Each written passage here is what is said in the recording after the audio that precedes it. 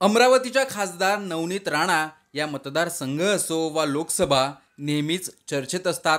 मतदारसंघात केलेलं कृत्य असो किंवा मुख्यमंत्री उद्धव ठाकरेंवर केलेली टीका असो त्यांची नेहमीच चर्चा होते. आताही त्या एका ऑडिओ क्लिपमुळे चर्चेत आल्या आहेत. या ऑडिओ क्लिपमध्ये मला विचारून लफडं केलं का असा प्रश्नच त्यांनी एका महिलेला विचारलाय. आधी ती ऑडिओ क्लिप काय आहे ते ऐका. माझा तर नंबर ब्लॉक केलाच होता. घरमालकींचाही नंबर ब्लॉक केला होता. कोणी?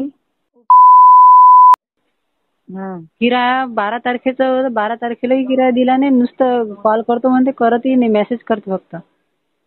आता मी माझी. मुलगी आणि माझे सामान घेऊन कुठे जाऊ सांगा. ताई माझं काय घेणं देणं? मला सांगा तुम्ही. माझं काय घेणं देणं? तुम्ही सांगा.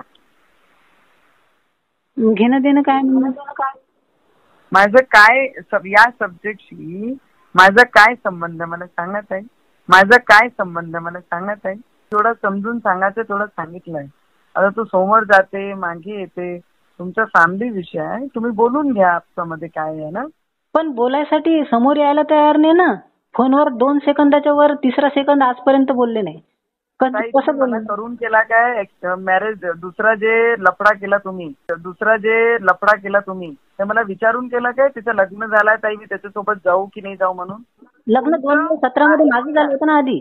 ऐकून घ्या ताई हम्म. ऐकून घ्या शांती. हा बोला ना. तुम्ही तेव्हा मला सांगितलं तेव्हाच मी तुमची पूर्ण सब्जेक्ट ऐकून घेतलं. ऐकून नाही घेतलं काय? हो ऐकून घेतलं? पण तुम्ही असं कसं काय म्हणत आहे की लफड सांगितलं का आधी? तुम्ही मला लफ- सांगून केलं काय? मी मला सांगून केलं काय? ते बोलणारच आहे ना. या ऑडिओ क्लिपमध्ये युवा स्वाभिमान पार्टीच्या कार्यकर्त्याने आपली फसवणूक केल्याची तक्रार एका पीडित महिलेने खासदार नवनीत राणा यांच्याकडे केली आहे. त्यासाठी त्या महिलेने खासदार राणा यांना फोन करून आपली परिस्थिती सांगितली व पार्टीच्या कार्यकर्त्यांना समज देण्याची विनंती केली.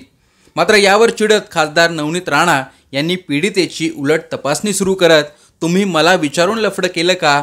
असा उलट प्रश्न त्या महिलेला विचारला. त्यावर त्या महिलेने आक्षेपही घेतला पण नवनीत राणांनी त्या महिलेचं ऐकूनच घेतलं नाही. नवनीत राणांची ही मोबाईलवरील संभाषणाची ऑडिओ क्लिप सध्या प्रचंड व्हायरल होते पीडित महिलेच्या तक्रारीनंतर राणांना महिला आयोगाची नोटीसही पाठवण्यात आली आहे या प्रकरणात सतरा जानेवारी रोजीच राज्य महिला आयोगाच्या अध्यक्षा रुपाली चाकणकरांनी ट्विट करत या प्रकरणाची माहिती दिली होती. त्यांनी ट्विटमध्ये लिहिलं होतं की पहिलं लग्न झालं असताना देखील पहिल्या पत्नीला अंधारात ठेवत दुसरं लग्न केलेल्या आणि त्यानंतर पहिली पत्नी तसेच तिच्या अठरा महिन्यांच्या मुलीला वाऱ्यावर सोडून देणाऱ्या एका इसमाविरुद्ध राज्य महिला आयोगाकडे तक्रार दाखल झाली आहे.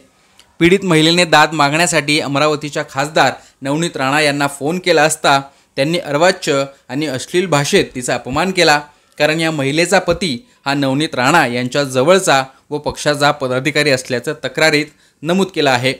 अमरावती पोलिसांना यावर तात्काळ कारवाई करून याचा अहवाल राज्य महिला आयोगात सादर करण्याचे निर्देश दिले असून खासदार नवनीत राणा यांनी या प्रकरणी योग्य तो खुलासा लेखी स्वरूपात द्यावा असे देखील निर्देश राज्य महिला आयोगाच्या वतीने देण्यात येत आहेत.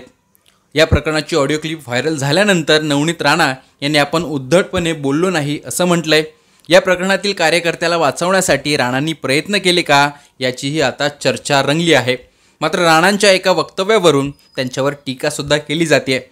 ऑडिओ क्लिप व्हायरल झाल्यानंतर आता या प्रकरणाला राजकीय वळण लागण्याची देखील शक्यता आहे. त्यामुळे आगामी काळात काय काय घडामोडी घडतात ते पाहणं महत्त्वाचं असणार आहे. आणि या पीडित महिलेला न्याय मिळतो का? ते पाहणं देखील महत्त्वाचं असणार आहे. नवनीत राणांच्या या ऑडिओ क्लिपबद्दल तुम्हाला काय वाटतं? तुमची काही मतं असतील ती कमेंट बॉक्समध्ये नक्की सांगा. लोकमतचं यूट्यूब चॅनल सबस्क्राईब केलं नसेल तर नक्की सबस्क्राईब करा. हा व्हिडिओ जर फेसबुकवर पाहत असाल तर लोकमतच्या फेसबुक पेजला देखील फॉलो आणि लाईक करा. हा व्हिडिओ नक्की शेअर करा. व्हिडिओ पाहिल्याबद्दल धन्यवाद.